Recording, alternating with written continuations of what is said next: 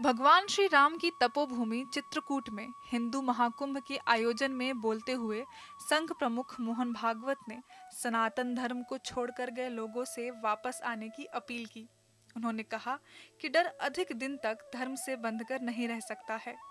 उन्होंने हिंदू समाज के लोगों से भी आह्वान किया है कि अपने अहंकार को छोड़कर लोगों को जोड़ने के लिए काम करें।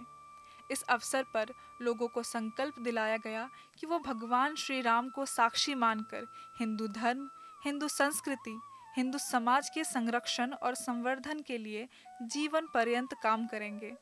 संघ हमेशा इसका पक्षधर रहा है कि जातियों के कारण हिंदू समाज बटा हुआ है और इसकी खाई को भरना आवश्यक है। मैं अपने पवित्र हिंदू धर्म, मैं अपने पवित्र हिंदू धर्म हिंदू संस्कृति हिंदू संस्कृति एवं हिंदू समाज के, एवं हिंदू समाज के संरक्षण संरक्षण, संवर्धन संवर्धन एवं सुरक्षा के लिए, एवं सुरक्षा के लिए आजीवन कार्य करूँगा, आजीवन कार्य करूँगा। जो भाई धर्म छोड़कर चले गए, जो भाई धर्म छोड़कर चले गए हैं उनकी भी घर वापसी के लिए, उनकी भी घर वापसी के लिए कार्य करूँगा एवं, कार्य करूँगा एवं उन्हें परिवार का हिस्सा बनाऊँगा, उन्हें परिवार का हिस्सा बनाऊँगा।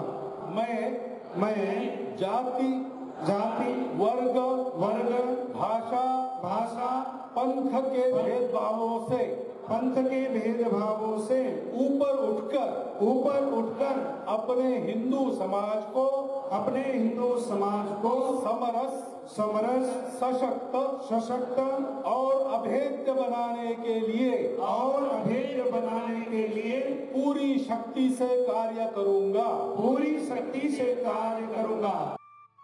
लोगों ने संघ के इस प्रयास का समर्थन किया है कि समाज को जातीयता ने काफ़ी नुकसान पहुँचाया है।